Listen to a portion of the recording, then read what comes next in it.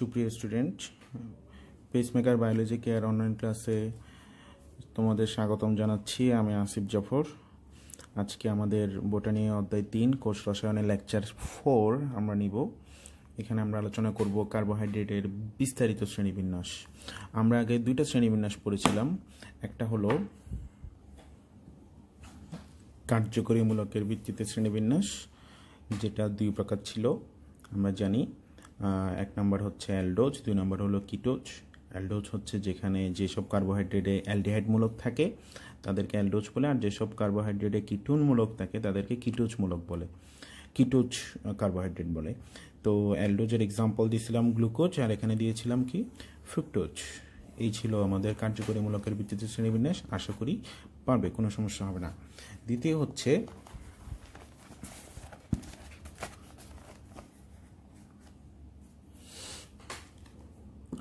Carbohydrate শ্রেণীবিন্যাস স্বাদের ভিত্তিতে। স্বাদের ভিত্তিতে ছিল দুই প্রকার, একটা ছিল শর্করা আর একটা ছিল অশর্করা। শর্করার বৈশিষ্ট্য ছিল এটা স্বাদে মিষ্টি হবে, দানাদার হবে, পানিতে জবনীয় হবে আর অশর্করা হচ্ছে উল্টু।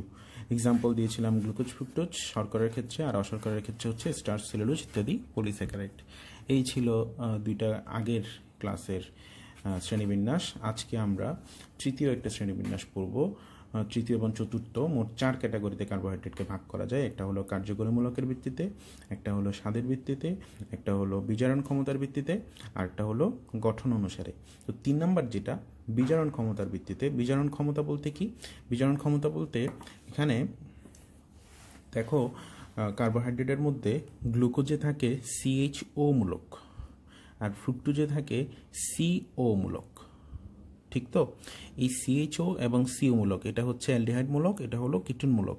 এই দুজন হলো, যদি থাকে, ওরা হচ্ছে বিজারক হিসেবে কাজ করে মানে বিজারণ ক্ষমতা প্রদর্শন করে। যেহেতু সিএইচও সিও দুজনই বিজারক মানে বিজারণ ক্ষমতা প্রদর্শন করে, তাহলে এই দুইটা মূলক যাদের ক্ষেত্রে থাকবে, তারা সবাই বিজারণ ক্ষমতা প্রদর্শন করবে।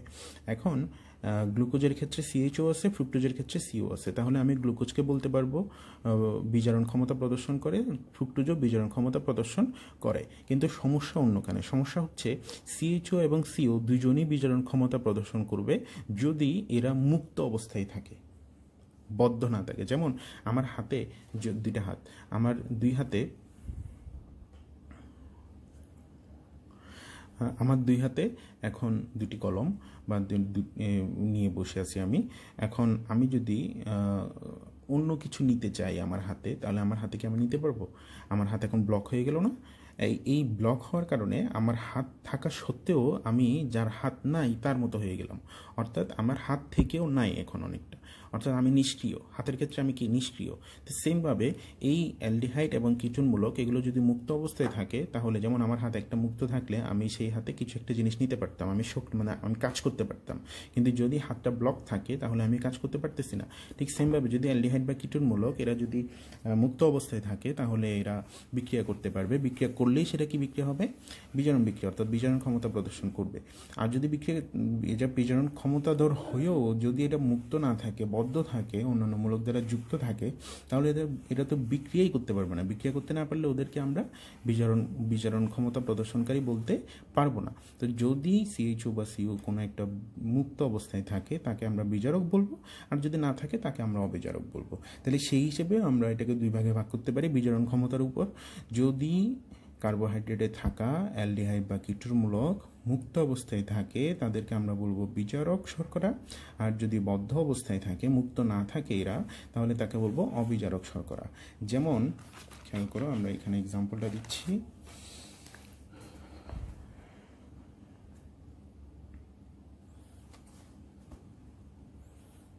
এই, এখানে তিনটা একসাথে দিলাম আমি। খেয়াল করো।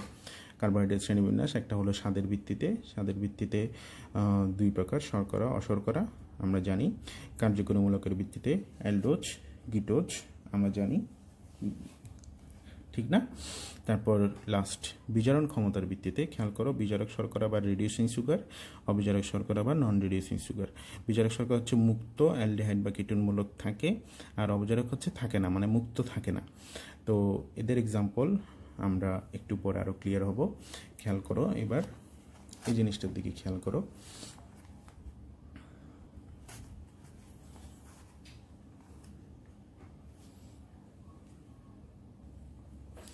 এবার লাস্ট ওয়ান গঠন অনুসারে। গঠন অনুসারে হচ্ছে কার্বোহাইড্রেট চার প্রকার। কি কি? মনোস্যাকারাইট ডাইস্যাকারাইট অলেগোস্যাকারাইট পলিস্যাকারাইট খেয়াল করো, মনো মানে হচ্ছে এক। ডাই মানে দুই, অলিগো মানে তিন থেকে দশ, পলি মানে অসংখ্য মানে দশের বেশি।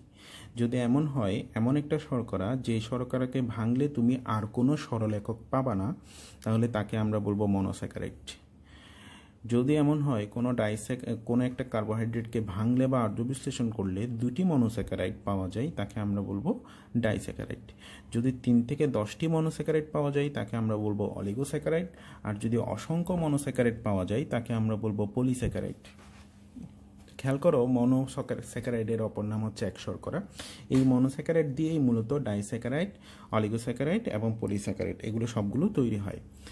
তো এই জিনিসটা আরও একটু ক্লিয়ার করার জন্য আমি তোমাদেরকে একটা এক্সাম্পল দিতে পারি, সেটা খেয়াল করো। এই রাসায়নিক গঠন অনুসারে চার প্রকার মনোস্যাকারাইড ডাইস্যাকারাইড অলিগোস্যাকারাইড এবং পলিস্যাকারাইড ধরো, এটা একটা বিল্ডিং একটা বিল্ডিং বিশতলা বিল্ডিং মনে করো এটা কয়তলা?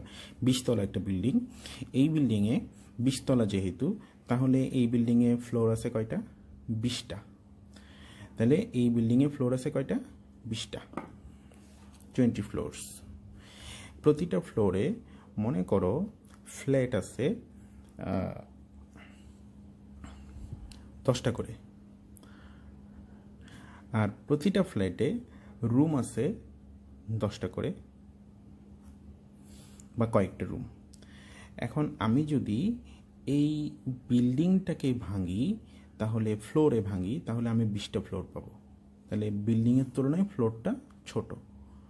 ফ্লোরকে যদি আমি ডিভাইড করি, তাহলে আমি প্রতি ফ্লোরকে অনেকগুলো ফ্ল্যাট পাবো। প্রতিটা ফ্লোর থেকে। তাহলে ফ্লোর থেকে ফ্ল্যাট ছোট। প্রতিটা ফ্ল্যাটে আমি আবার কি পাবো? অনেকগুলো রুম পাবো। তাহলে ফ্ল্যাট থেকে কি ছোট? রুম ছোট। তাহলে তুমি যদি এই বিল্ডিংটাকে পলিস্যাকারাইট মনে করো ফ্লোরটাকে যদি তুমি অলিগোস্যাকারাইট মনে করো ফ্ল্যাটটাকে তুমি যদি ডাইস্যাকারাইট মনে করো, তাহলে রুমটাকে তুমি মনে করতে পারো মনোস্যাকারাইট অর্থাৎ মনোস্যাকারাইট থেকে ডাইস্যাকারাইট বড় ডাইস্যাকারাইট থেকে অলিগোস্যাকারাইট বড় অলিগোস্যাকারাইট থেকে পলিস্যাকারাইট বড়।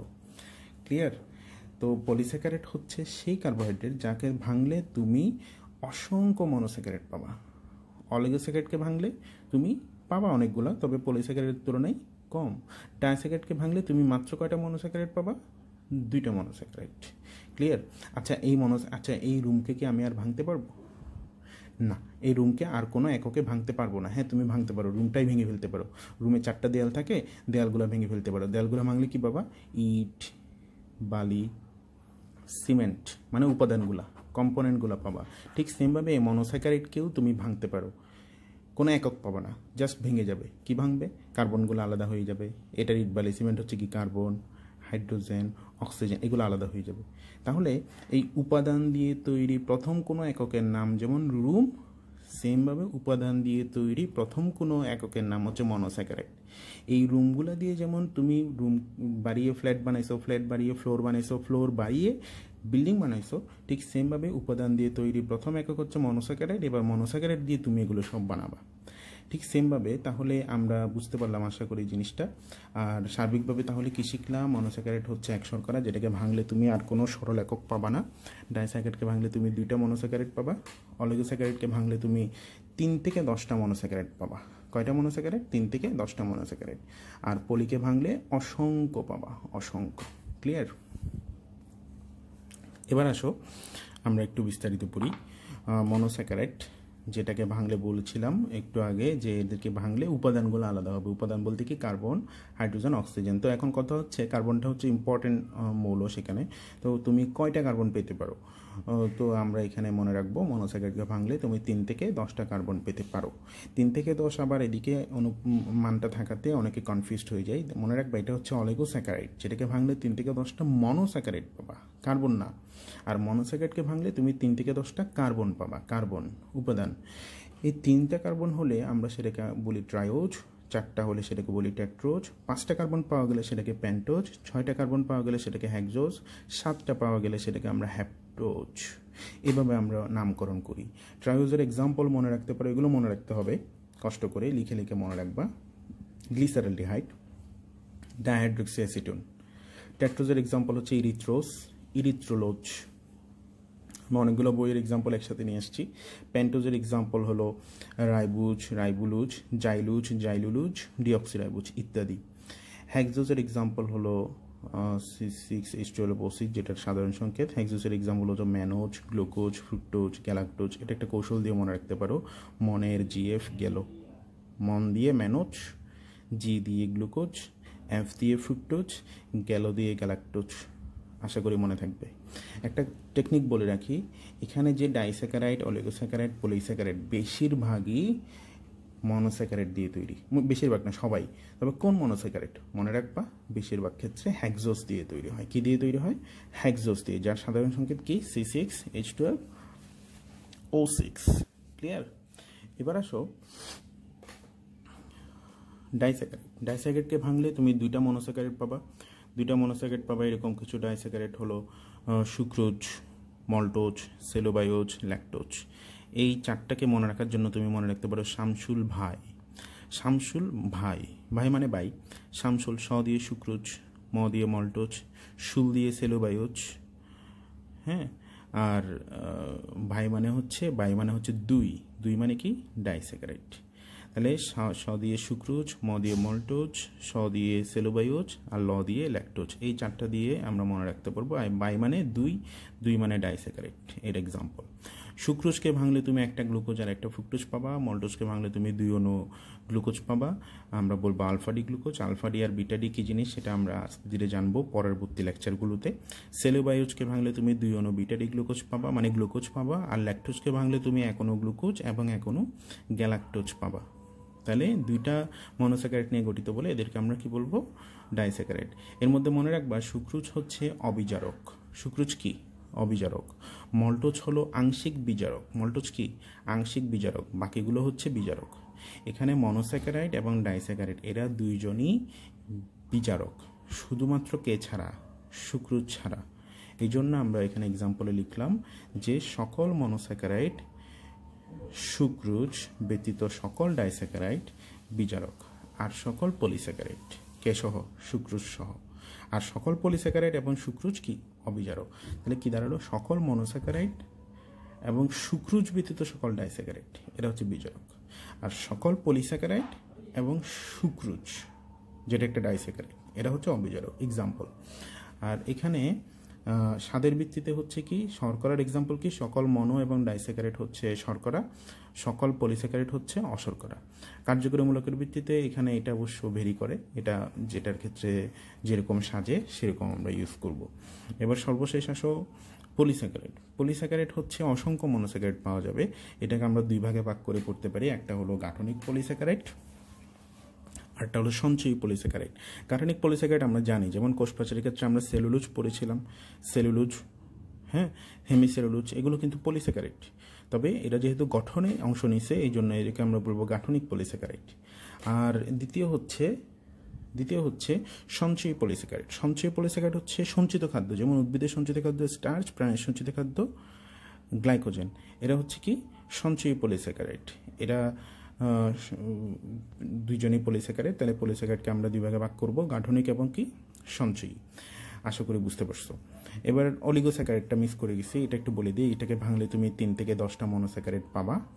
যেমন তিনটা পেলে তুমি বলবা ট্রাইস্যাকারাইড চারটা পেলে তুমি বলবা ট্যাট্রাস্যাকারাইড ট্রাইস্যাকারাইডের এক্সাম্পল মনে রাখো র্যাফিনোজ ট্যাট্রাস্যাকারাইডের এক্সাম্পল মনে রাখো স্কার্ডোজ স্ট্যাকিওজ এর মধ্যে র্যাফিনোজকে ভাঙলে তুমি গ্লুকোজ পাবা একটা ফ্রুক্টোজ পাবা একটা গ্যালাক্টোজ পাবা একটা। আর স্ট্যাকিউজকে ভাঙলে তুমি একটা গ্লুকোজ পাবা, একটা ফ্রুক্টোজ পাবা, দুইটা গ্যালাক্টোজ পাবা। ক্লিয়ার আচ্ছা এবার একটা জিনিস বলে রাখি, শেষ পর্যায়ে আমরা। এখানে ডাইস্যাকারাইডের মধ্যে যে সুক্রোজটা আছে, এই সুক্রোজ সম্পর্কে কিছু কথা বলি। এই সুক্রোজ হচ্ছে উদ্ভিদের প্রধান ডাইস্যাকারাইড এক। দুই, এই সুক্রোজ একটা ডাইসেকারেট হওয়া সত্ত্বেও অবিজারক চিনি। তিন, আমরা যে চিনি খাই, ওই চিনিটাই হচ্ছে এই সুক্রোজ যেটা ইক্ষু থেকে আসে। আখ আখ আছে না? আখ, যেটাকে আমরা চিটাঙ্গের ভাষায় কুশাল বলি। সেটা থেকে এই সুক্রোজটা পাওয়া যায় পনেরো পার্সেন্ট আখের রসে সুক্রোজ পাওয়া যায় পনেরো পার্সেন্ট এই জন্য এই সুক্রোজের অপর নাম ইক্ষু চিনি। এটাকে বিট চিনি বা আখের চিনিও বলা হয়। উদ্ভিদে উৎপন্ন যে খাদ্যটা থাকে, গ্লুকোজ সালোক সংশ্লেষণ প্রক্রিয়ায়, সেটা উদ্ভিদের বিভিন্ন অঙ্গে এই সুক্রোজ হিসেবে বাহিত হয়। হ্যাঁ তারপর এটার গণনাঙ্ক হচ্ছে একশো আটাশি ডিগ্রি সেলসিয়াস এবং এই সুক্রোজ হচ্ছে একটা উদ্ভিদের প্রধান ডাইস্যাকারাইড আচ্ছা মল্টোজ হচ্ছে আংশিক রিডিউসিং সুগার বা আংশিক বিজারক চিনি। আর লাস্টে সেলোবায়োজ সেলোবায়োজ আমরা হজম করতে পারি না। সেলুলোজ আমরা হজম করতে পারি না, মনে রাখবে। গরু, ছাগল, অন্যান্য প্রাণী হজম করতে পারে। কারণ এই সেলুলোজ হজম করার জন্য সেলুলেজ নামক একটা এনজাইম থাকে। এই সেলুলেজ এনজাইম আমাদের অন্ত্রে নাই, আমাদের ক্ষুদ্রান্ত্রে নাই। যার কারণে আমরা সেলুলোজ জাতীয় খাবারগুলো হজম করতে পারি না। মনে থাকবে গরু, ছাগল হজম করতে পারে। কারণ ওদের ক্ষেত্রে সেলুলেজ এনজাইমটা থাকে। ওই এনজাইমের নাম হচ্ছে বিটা সেলুলেজ সেলুলোজকে ভাঙলে তুমি সেলুবায়োজ পাবা। তার মানে একই জিনিস। সেলু সেলুলেজও নেই সেলুবায়োজও নেই। সেলুলোজ ভাঙার জন্য লাগবে সেলুলেজ সেলুবায়োজ ভাঙার জন্য লাগবে সেলুবায়েজ আচ্ছা ল্যাকটোজ ল্যাকটোজ হচ্ছে এটা দুধে পাওয়া যায়। হ্যাঁ এটাকে ভাঙলে গ্লুকোজ আর গ্যালাক্টোজ পাওয়া যায়। গ্যালাক্টোজ একটা এমন একটা মনোস্যাকারাইড যেটা মস্তিষ্ক বিকাশে সাহায্য করে। তার মানে ব্রেন ডেভেলপে হেল্প করে কে? গ্যালাক্টোজ, স্মৃতিশক্তি বাড়ায় গ্যালাক্টোজ। তাহলে বেশি বেশি দুধ খেতে হবে পরীক্ষার আগে ব্রেন বা স্মৃতিশক্তি বাড়াতে হলে। হ্যাঁ এটা মনে রাখার জন্য অবশ্য টেকনিকও আছে। আশা করি আমরা এই ছকটা আমরা আশা করি পারব। এই ছকটা খুবই গুরুত্বপূর্ণ। এটা তোমরা, আমি সবগুলো এক জায়গায় নিয়ে এসেছি। তোমরা সবাই এটা নোট করে ফেলবা খাতায়। আমি এখানে কিছুক্ষণের জন্য রাখলাম এই ছবিটা। সো, ধন্যবাদ, ভালো থাকবা। আশা করি সবার কিছুটা হলেও উপকার হলো। ভালো থাকবা, সুস্থ থাকবা, বাসায় থাকবা, সচেতন থাকবা। ধন্যবাদ।